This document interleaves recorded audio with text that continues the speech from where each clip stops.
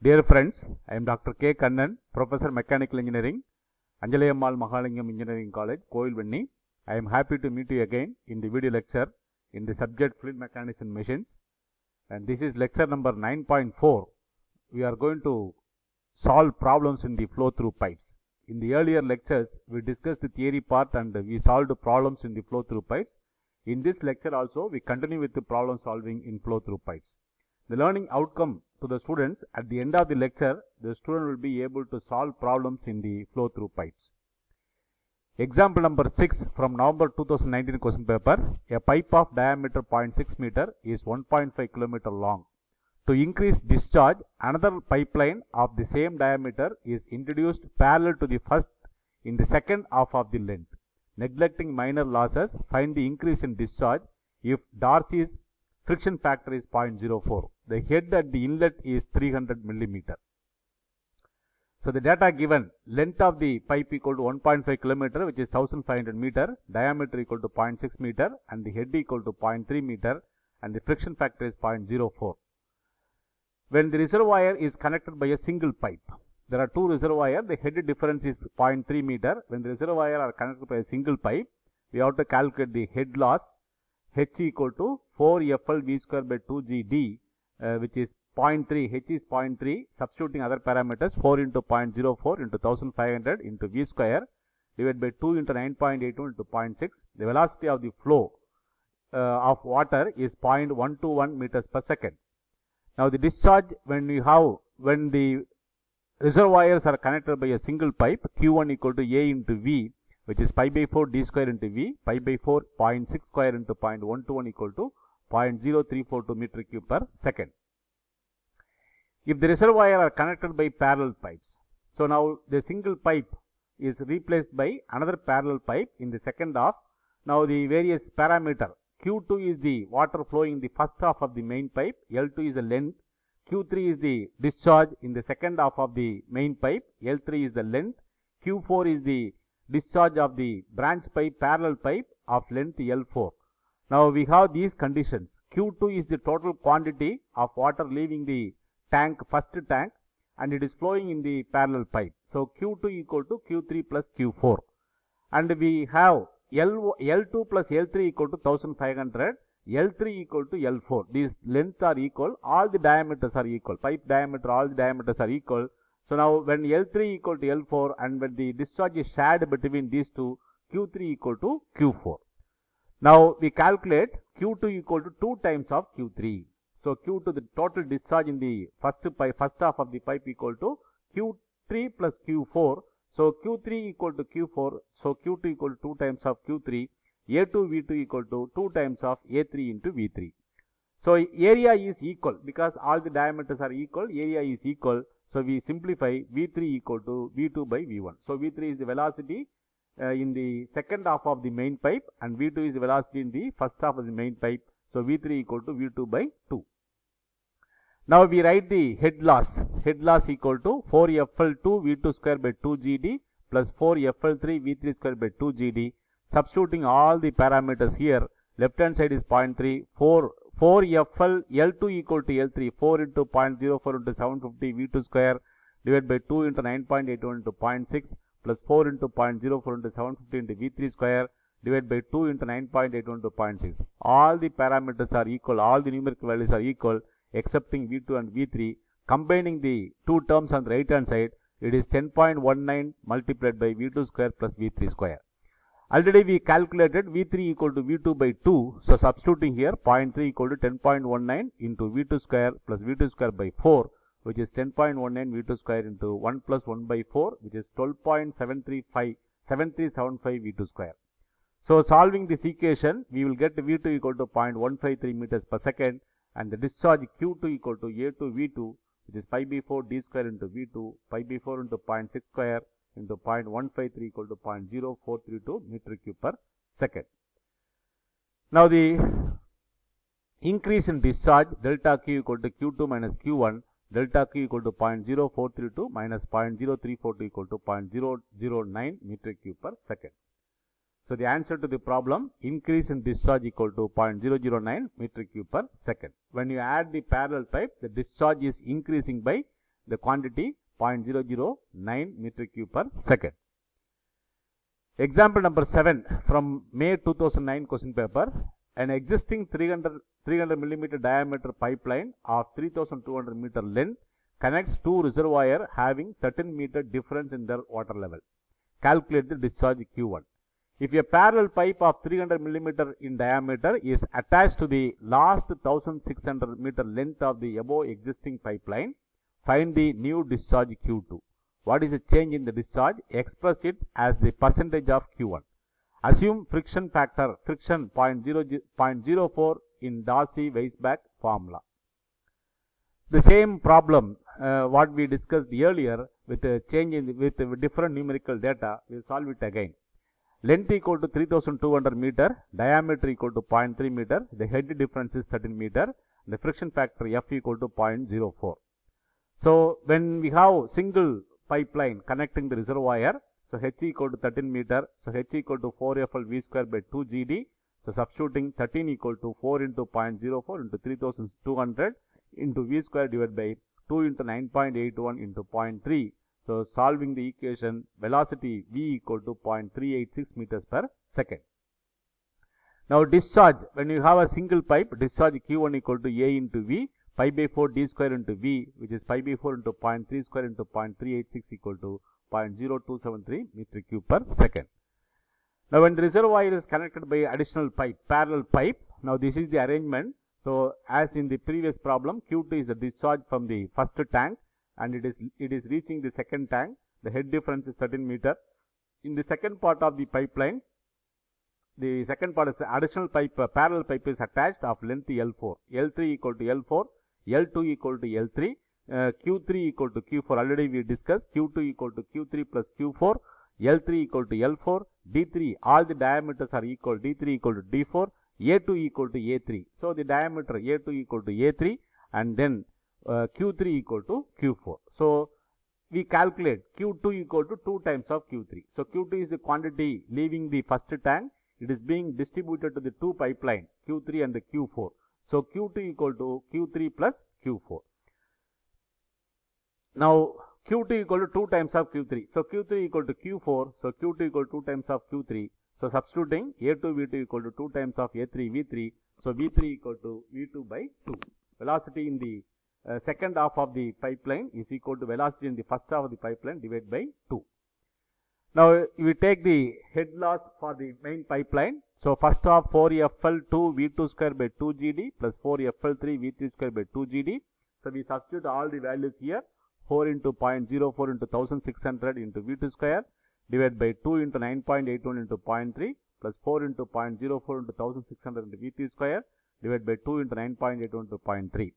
So, accepting V2 and V3 other terms are equal other other numerical values are equal on the right hand side. So, combining so 13 equal to 43.49 into V2 square plus V3 square. So, already we calculated V3 equal to V2 by 2 substituting here 13 equal to 43.9 43.49 into V2 square plus V2 square by 4. So, simplifying 43.49 into V2 square into 1 plus 1 by 4 which is 54.3625 V2 square. So, solving this equation V2 equal to 0.489 meters per second. Now, the new discharge with the parallel pipe additional parallel pipe Q2 equal to A2 V2 which is pi by 4 D2 square into V2 pi by 4.3 square into 0.489 equal to 0.0345 meter cube per second. Now, percentage of increase in discharge Q2 minus Q1 divided by Q1 into 100 which is 0.0435 minus 0.0273 divided by 0.0273 into 100 equal to 26.37 percentage. So, the answer to the problem the percentage increase in discharge equal to 26.37 percentage. Example number 8 from May 2019 question paper. A pumping plant is forcing the water through the pipe of 60 centimeter diameter and uh, frictional loss is 30 meter. For reducing the power consumption, it is proposed to lay another pipe along the, along the side of the existing pipe. So, both pipe will run parallel to the entire length and reduced to the friction head to the 10 meter. Find the required diameter of the knee pipeline assuming friction factor is the same for both pipelines. So, D1 diameter D1 equal to 0.6 meter HF1 when you have single pipeline HF1 equal to 30 meter when you have two parallel pipe HF2 equal to 10 meter. For single pipe HF equal to 4FL V square by 2 GD. So substituting HF is 30 meter 4FL V square by 2 into 9.81 to 0.6. So simplifying FL V square equal to 88.29 or V equal to square root of 88.29 divided by FL. Now, now the discharge for single pipeline Q equal to A into V pi by 4 D square into V. So substituting Q equal to pi by 4 into 0.6 square into square root of 88.29 divided by FL which is equal to 2.655 into square root of 1 by FL. Now when you have parallel pipe like this, so there are two parallel pipe of length L1, L2, D1, D2, V1, V2 and the head difference is H. So here D1 equal to 0.6 meter, D2 is the unknown. We have to calculate the diameter D2. So for HF 4FL V1 square by 2 GD, so 10 meter now 10 meter equal to 4FL V1 square by 2 into 9.81 into 0.6. So FL V1 square equal to 29.43 V1 equal to square root of 29.43 divided by FL. So discharge in the pipe 1 Q1 equal to A1 V1 which is pi by 4 D1 square into V1 which is pi by 4 into 0.6 square into square root of 29.43 divided by FL equal to 1.24 into square root of 1 by FL. Now for the second pipe HF equal to 4 FL V2 square by 2G D2 so 10 HF against 10 equal to 4 into FL V2 square by 2 into 9.81 D2. So this is FL V2 square equal to 49.05 into D2. So V2 equal to square root of 49.2 49.05 into D2 divided by FL. Discharge in the pipe 2 Q2 equal to A2 V2 which is pi by 4 D2 square into V2. So Q2 equal to pi by 4 D2 square into square root of substituting for V2 square root of 49.05 into D2 divided by FL. So simplifying this will be 5.49 D2 to the power 2.5 into square root of 1 by FL. Now the diameter of the new pipeline. We know Q equal to Q1 plus Q2. So this substituting Q equal to 2.655 into square root of 1 by FL, Q1 equal to 1.24 into square root of 1 by FL plus Q2 equal to 5.49 D2 to the power 2. Point, D2 to the power 2.5 into square root of 1 by FL. Now 1 by FL is getting cancelled. So 2.655 equal to 1.24 plus 5.49 D2 to the power 2.5. So d2 to the power 2.5 equal to 1.145 divided by 5.49 which is 0.2577. So d2 equal to 0.58 meter. Now the answer to the problem diameter of the new pipeline is 0.58 meter. Example number 9. Two reservoir 1 kilometer apart are connected by two pipes in parallel. One is 300 millimeter in diameter and the other is 200 millimeter in diameter. If the combined flow rate is 1 meter cube per second, find the velocity of the flow in the each pipe. Assume friction factor to be the same for both pipes. So this is from November 2019 question paper. So this is the arrangement. So we are given L1 equal to L2 equal to 1000 meter, D1 equal to 0.3 meter, D2 equal to 0.2 meter. Total discharge Q equal to 1 meter cube per second and friction factor F1 equal to F2. So discharge in each pipe. So Q1 equal to A1 V1 which is pi by 4 D1 square V1 substituting pi by 4 into 0.3 square into V1 equal to 0.07065 V1. Q2 equal to A2 V2 pi by 4 D2 square into V2 this pi by 4 into 0.2 square into V2 equal to 0.0314 into V2. Now discharge Q1 plus Q2 equal to 0.1 Q equal to 0.1 equal to 0.07065 into V1 plus 0.0314 into V2. We take this is equation number 1. Now for parallel pipe 4F 4F L1 V1 square by 2G D1 equal to 4F L2 V2 square by 2G D2. So everything is constant excepting velocity and diameter. So we simplify V1 square by D1 equal to V2 square by D2. So V1 square by 0.3 equal to V2 square by 0.2. So V1 by V2 equal to square root of 0.3 by 0.2 which is 1.22. So V1 equal to 1.22 times of V2. So substitute the value in the equation number 1. So substituting here 0.1 equal to 0.07065 into V1 plus 0.0314 V2. So substituting for V2 0.1 equal to 0.07065 into 1.22 into V2 plus 0.0314 into V2. So simplifying 0.1 equal to 0.11759 into V2. So V2 equal to 0.85 meters per second and V1 equal to 1.22 times of V2 which is 1.22 into 0.85 equal to 1.037 meters per second. So the answer to the problem velocity in the pipe V1 equal to 1.037 meters per second and V2 equal to 0.85 meters per second. Example number 10 from November 2009 question paper. A 30 centimeter diameter pipe conveying water branches into two pipes of diameter 20 centimeter and 15 centimeter respectively. You take the diagram. This is the diagram. So 30 centimeter di pipeline diameter D1 equal to 30 centimeter which is 0.3 meter. Velocity is 2.5 meters second meters per second and it is branched into two of one is of diameter 0.2 meter D2 equal to 0.2 meter another is of diameter 0.15 meter so here the velocity is 2 meters per second. So and here what is the velocity? Velocity is the unknown. So if the average velocity is 30 centimeter pipeline is 2.5 meters per second, find the discharge in the pipe. Also determine the velocity in 15 centimeter pipe if the average velocity is velocity in the 20 centimeter pipe is 2 meters per second. So everything, all the data given in the problem are described in the form of a diagram. Now we calculate the area of the pipe A1, A2, A3. A1 equal to pi by 4 D1 square which is 3.14 divided by 4 into 0.3 square equal to 0.07065 meter square. A2 equal to pi by 4 D2 square which is 3.14 divided by 4 into 0.2 square equal to 0.0314 meter square. A3 equal to pi by 4 D3 square which is 0.314 3.14 divided by 4 into 0.5 square equal to 0.01766 meter square. All the area were calculated. The discharge in the main pipeline so Q1 equal to A1 V1 0.07065 into 2.5 equal to 0.177 meter cube per second. Now discharge in the branch pipe Q2 equal to A2 V2 which is 0.0314 into 2 equal to 0.0628 meter cube per second and Q3 equal to Q1 minus Q2 which is 0.177 minus 0.0628 equal to 0.1142 meter cube per second.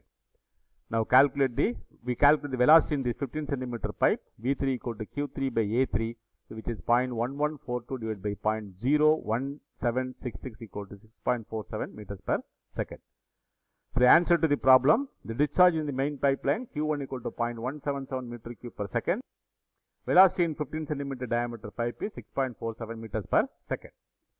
So we stop here. So these are all the books I have written in mechanical engineering subject. You may find the fluid mechanics and machinery book in the list.